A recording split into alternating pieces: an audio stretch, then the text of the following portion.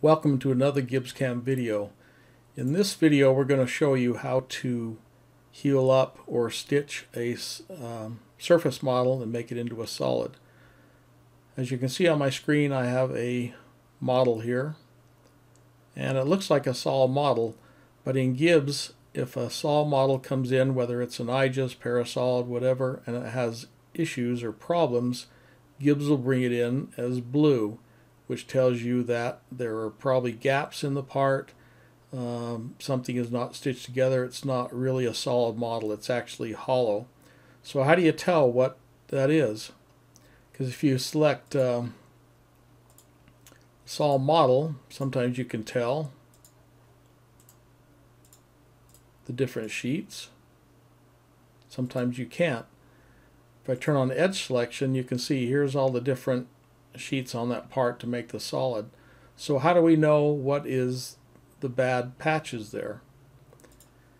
I'm going to bring up my surface modeling palette and click on this button here that says Stitch Sheets. Now if I turn on my edge selection, you can see this shows all the edges here. But if you uncheck this button here, it's only going to show you the edges that have issues that aren't stitched together. So I'm going to click on that and you can see we have two surfaces there that are not stitched. Something's wrong with them.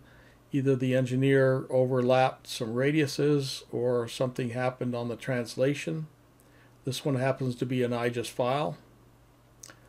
If I take this sheet off, you can see, of course, it's hollow.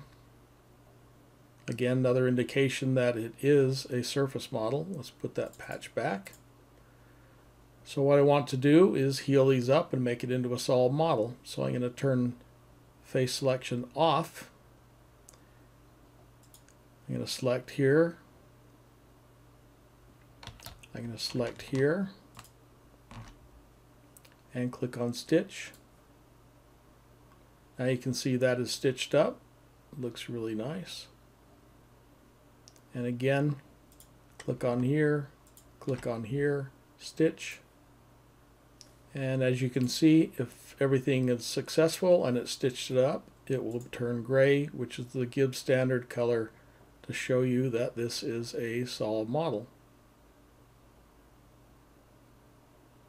So just one quick way to uh, heal up solids. We also have a number of different ways uh, we can do it. We can do multiple passes, multiple tries.